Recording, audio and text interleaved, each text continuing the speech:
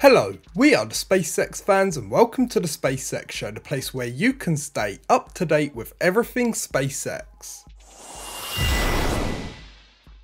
SpaceX was supposed to launch Transporter 2 yesterday and got to T minus 10 seconds before a hold. They then scrubbed and tweeted hold called due to range being no go, teams are setting up for tomorrow's backup opportunity. So, with the scrubbed launch yesterday, SpaceX launched the Transporter 2 mission today instead. Zero. Ignition. And liftoff.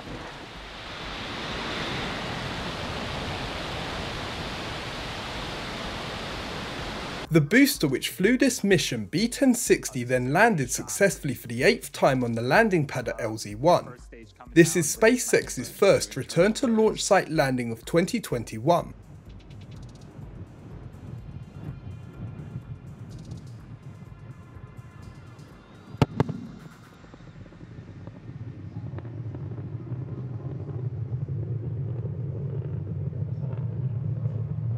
Stage one, landing leg deploy.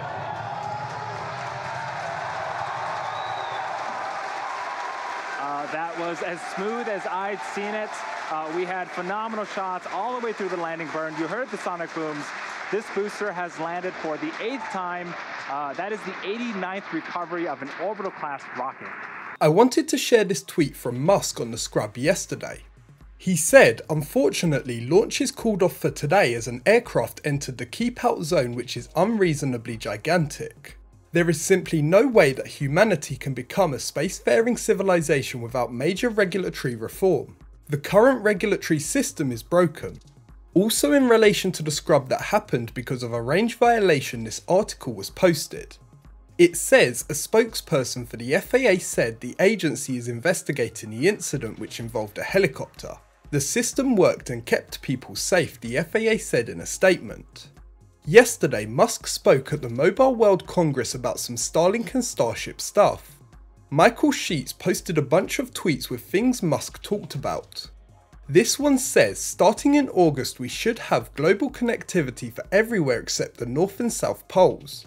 We are on our way to having a few hundred thousand users, possibly over 500,000 users within 12 months. Another one said Starlink is operational now in about 12 countries and more are being added every month. In another tweet it says from a technology standpoint Starlink is quite different from prior low Earth orbit constellations, it's very advanced. No one has this level of sophistication with phased array technology for satellite antennas. Some more Starlink info from Musk, we are getting close to launching Starlink satellite version 1.5 which has satellite interlinks. There was also some information about Starlink cash flow. It says probably before we go into fully positive cash flow, SpaceX may have spent at least $5 billion on Starlink and maybe as much as $10 billion. It's quite a lot. In addition to this, Musk added over time it's going to be a multiple of that and about 20 or 30 billion dollars over time because basically it is a lot of money to get Starlink operational.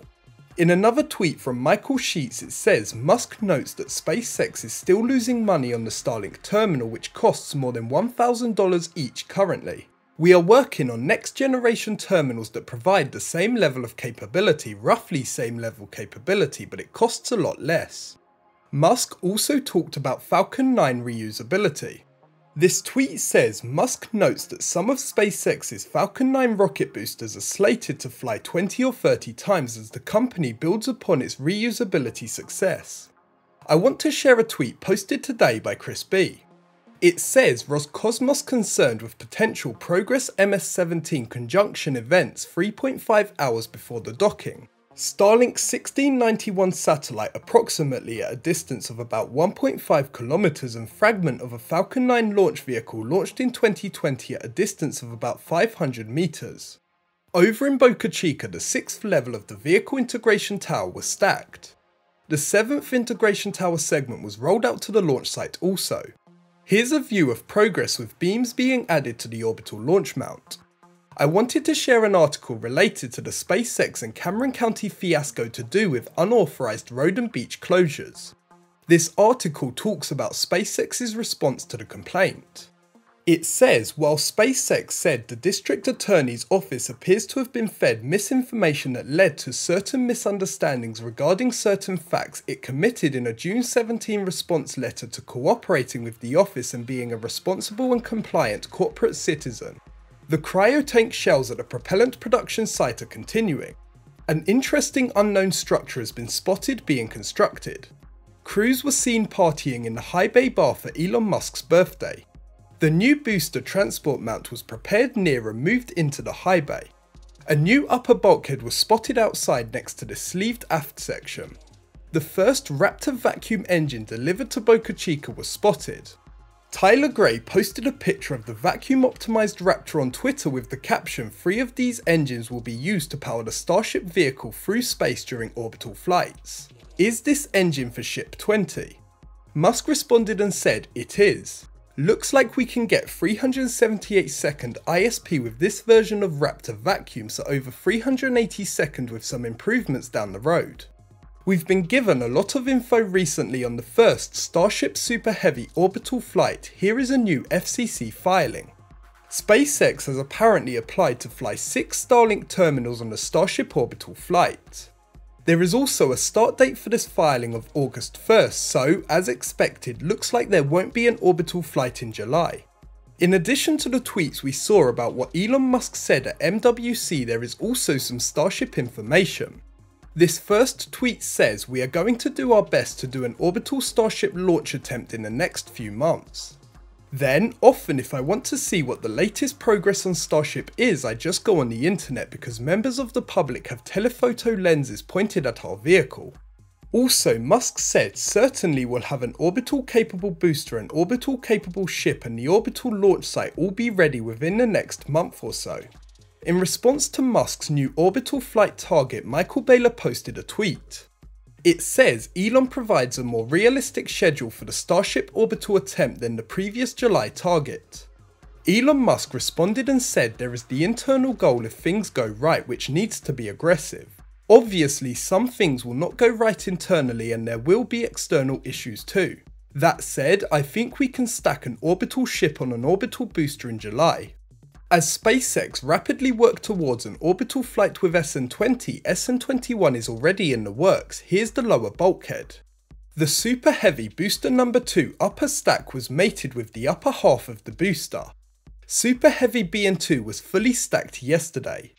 I wanted to include the road closures from the Cameron County website. Not sure what it's for but there is a road closure scheduled for tomorrow Thursday 1st. I have to say thanks once again to Tyler Gray who has been out in Boca Chica filming the great content. Mary has now also returned from her holiday and been filming out in Boca Chica again so thanks to her too. Also thanks to the NASA spaceflight team working behind the scenes on their great videos, live streams and other space content. That's it for this episode of the SpaceX Show, I hope you enjoyed the video, if you did make sure to hit the like button and leave a comment down below. If you want to stay updated with SpaceX info, make sure to subscribe and press the bell icon to get notified when I upload. Thanks for watching and have a great day.